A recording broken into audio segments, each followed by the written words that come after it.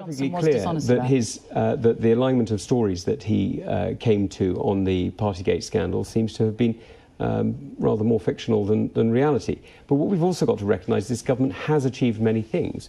You know, in recent years, it was Boris Johnson's government that managed to get us out of the European Union after the hiatus of the, of the end of the May years.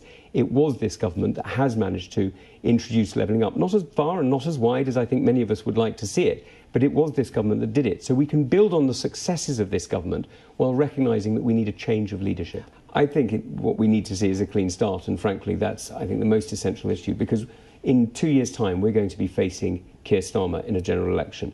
And we need to make sure that all the attack lines that have been used against us for the last three years don't come back in a general election. We need to make sure absolutely that what we're able to deliver is champion conservative policies and deliver a conservative vision of the future. Because there are fantastic conservative MPs around the country today who are delivering for their communities. There are councillors who are delivering today, who are delivering a conservative future. And it would be wrong to undermine them because we make the wrong decision in Westminster.